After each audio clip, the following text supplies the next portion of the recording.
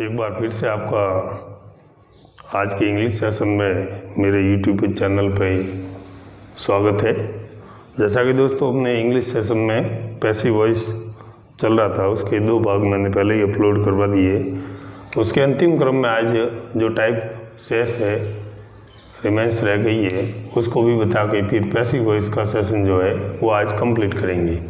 तो चलिए दोस्तों, बिना वक्त गवाए अपन आगे शुरू करते हैं कि अब तक अपन ने क्या पढ़ा।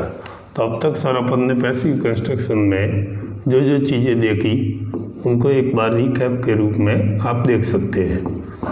Passive construction how to make active passive voice from active voice तो सबसे पहले अपन दोस्तों देखा इनमें डिफरेंस यानी दोनों में अंतर देखा सर।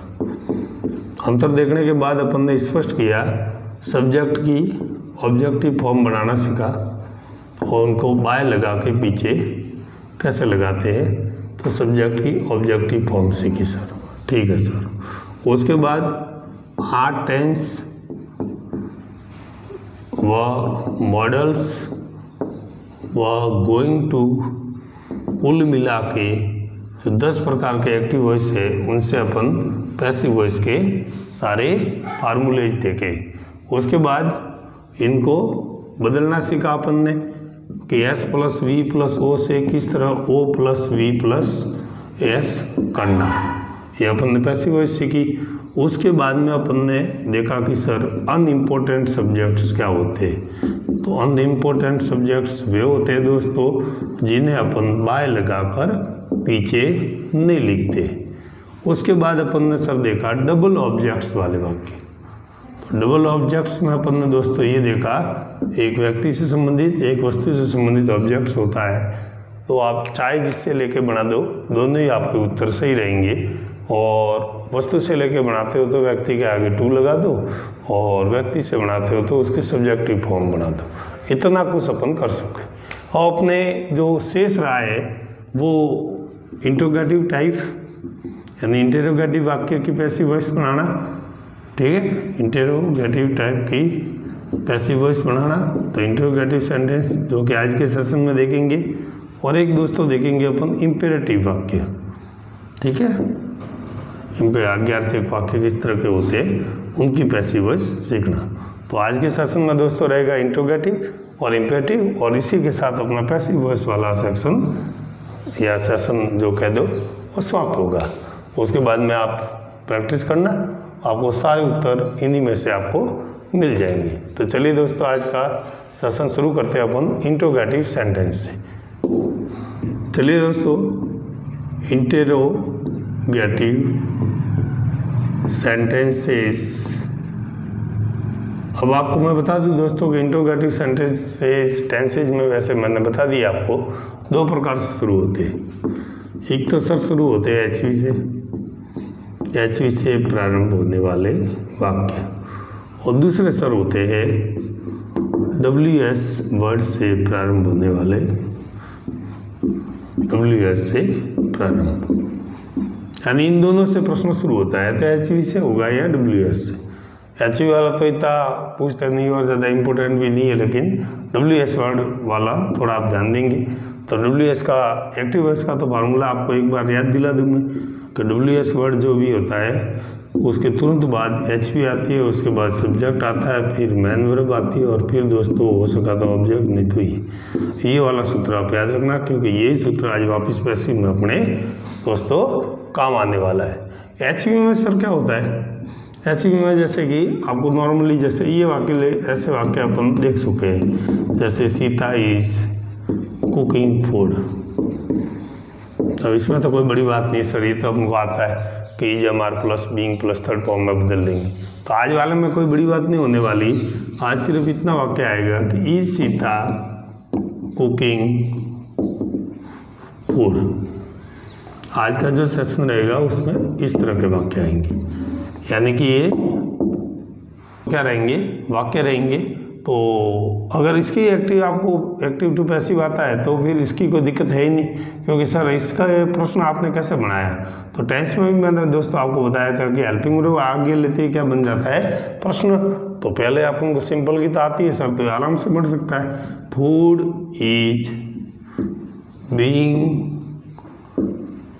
cooked by Sita इसमें दोस्तों कोई दिक्कत है नहीं आपको? तो फिर इसमें भी कोई नहीं होनी चाहिए। इसमें क्या किया था सर एक्टिव टू पैसिव में? यही तो आगे लिया है एच वी तो। इसमें भी एच वी आगे ले लो। तो हो जाएगा आपका उत्तर is food being cooked by Sita और ये प्रश्नवाचक यानी एचवी वाला दोस्तों, इतना सिंपल है कि एक्टिव वॉइस का जो वाक्य रहता है, उसके अगर एचवी को आगे लेते हैं तो प्रश्न बनता है। तो एचवी को थोड़ी देर के लिए मान लो पीछे ही रख लो तो वाक्य नॉर्मल हो जाएगा। नॉर्मल वाक्य की आपको पैसी आती है और प्रश्नवाचक की बनाओ तो उसकी नॉर्मल की बनाकर फिर उसकी एचवी को ले लो। आगे ये हो गया आपका उत्तर।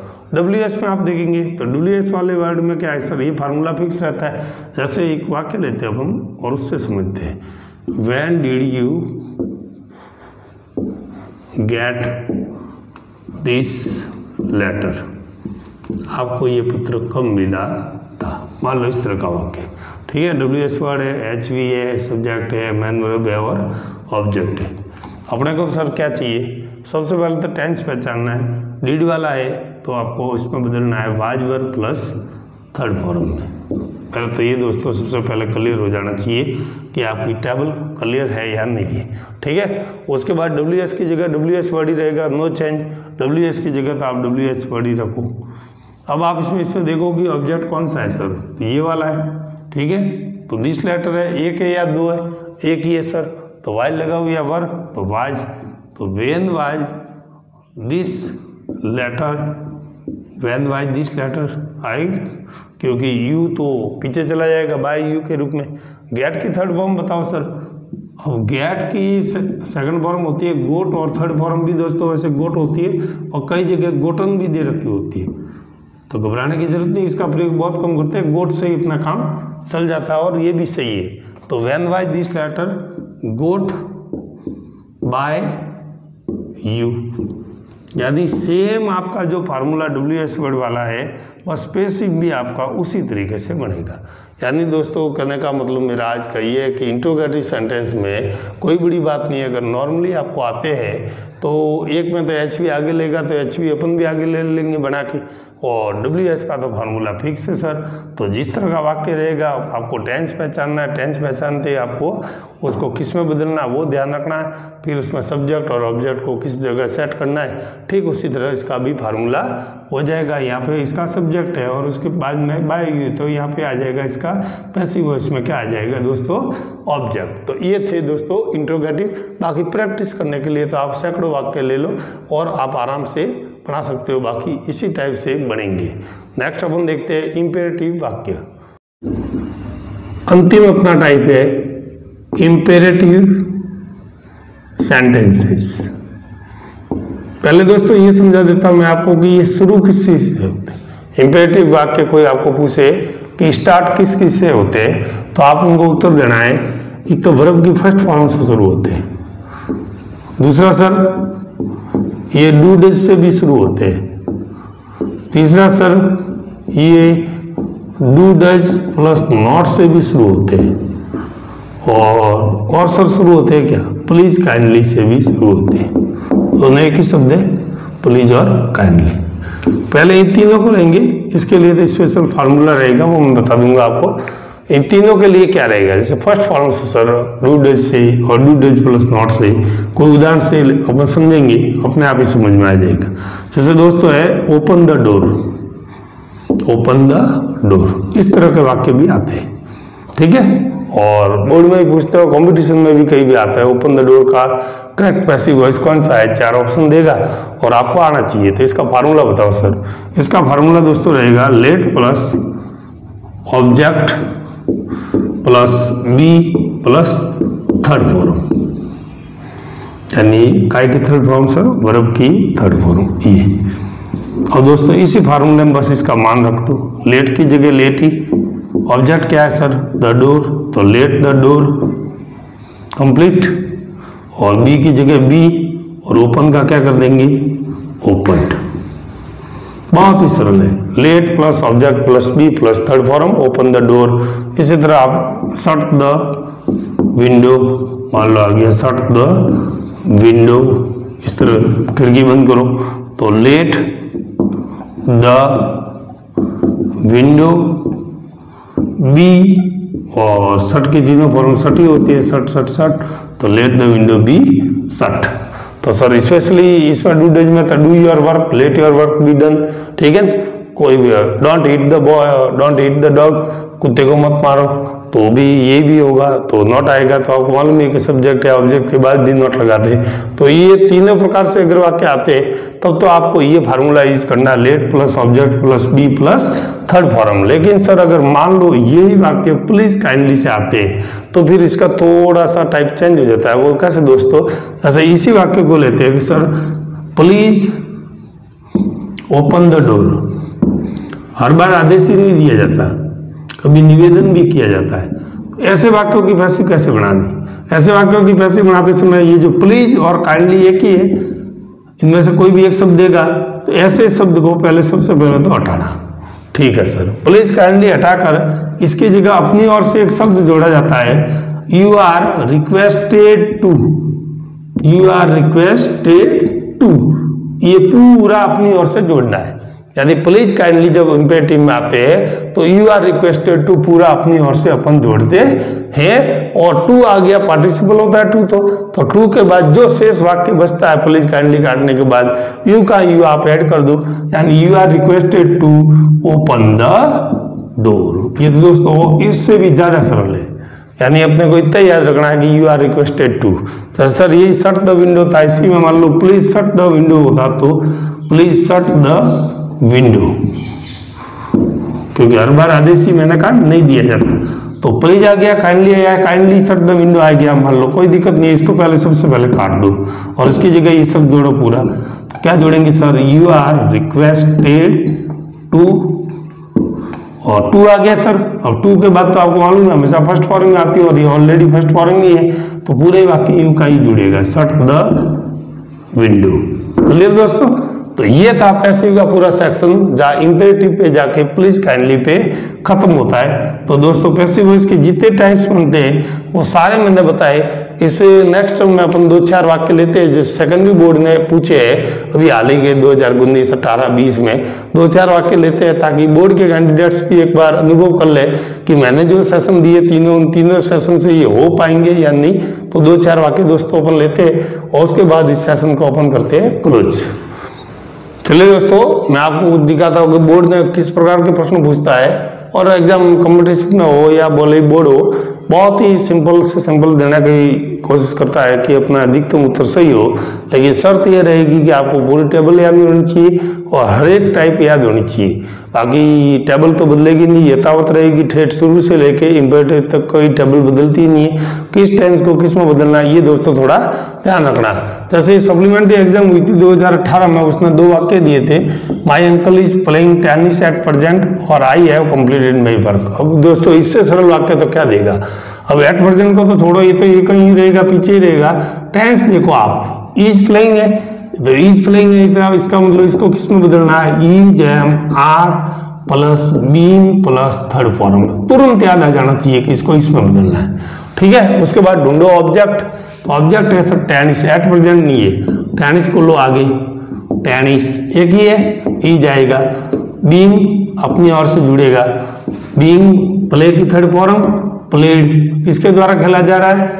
By my uncle by my uncle और कब खेला जा रहा है एट प्रजेंट यानी कि दोस्तों, कोई दिक्कत नहीं अगर आप टेंस को तुरंत शो कर लेते हो तो आपका उत्तर भी आपके सामने tennis is being played by my uncle at present ठीक, उसी क्रम में दोस्तों देखते हैं अपन। I have completed my homework have completed है तो तुरंत दिमाग में आना चाहिए सर कि हैव आता है एज हैव आता है थर्ड फॉर्म आती है तो हैज़ बीन और have been plus third form में इसको बदलना है। क्या है सर? My homework? तो माई होमवर्क को आगे ले लो। माई होमवर्क माई होमवर्क एक ही तो है सर। तो फिर हैज़ बीन हो जाएगा। कंप्लीटेड का तो कंप्लीटेड ही रहेगा। थर्ड फॉर्म ही दे रखी है ऑलरेडी तो कंप्लीटेड किसके द्वारा? मेरे द्वारा। तो आई का क्या करना है? बाय मी यानी टेबल दोस्तों, आपको याद होनी चाहिए सब्जेक्ट की ऑब्जेक्टिव फॉर्म में याद होनी चाहिए, कोई दिक्कत नहीं है। तो इस तरह से ये बोर्ड ने जैसे पूछे सप्लीमेंट्री सेकेंडरी बोर्ड 2018 में। ठीक उसी तरह बोर्ड की मेन एग्ज़ाम हुई थी 2018 में तो वहाँ कौन सा तीन मारा? उनको भी दो वाक्यों को देख लेते। देखो, यहाँ दोनों वाक्य दिए, वो थोड़े स्पेशल है। एक तो अनइम्पोर्टेंट से, एक एक है। अभी जो मैंने पढ़ाया वहाँ से। Please hang this picture on wall कृपया करके ये जो पिक्चर है, या चित्र है, दीवार पे टांग दो। तो आओ दोस्तों, वाक्य किससे शुरू हो रहा है? प्लीज़ से। और अभी मैंने बताया था प्लीज़ से शुरू होता है तो अपनी ओर से क्या जोड़ना है? यू आर रिक्वेस्टेड टू तो यू आर रिक्वेस्टेड टू फिर पूरा वाक्य इस प्लीज़ को तो काटना।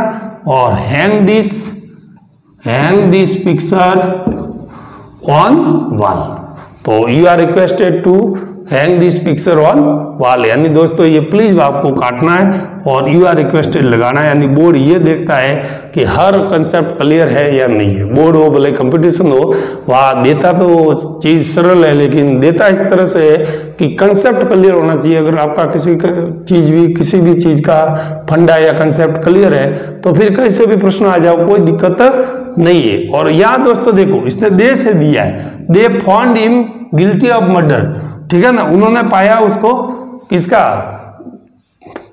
मर्डर का या किसी को हत्या करने का गिल्टी यानी दोषी पाया तो दे आया है सर। उन्होंने पाया, ठीक है ना? और किसको पाया? उसको पाया। तो दे तो बाय देम तो लगता नहीं। अब यहाँ अनइम्पोर्टेंट सब्जेक्ट है। आप दोस्तों याद करो जब मैंने लिखवाया था, इनको दे को भी बाय देम नहीं लिखते। और बोर्ड ये चाहता है कि बच्चा लिखे तो और नंबर कटे, इसीलिए बाय देम नहीं लिखना है तो क्या करेंगे सर? तो इससे शुरू करेंगे।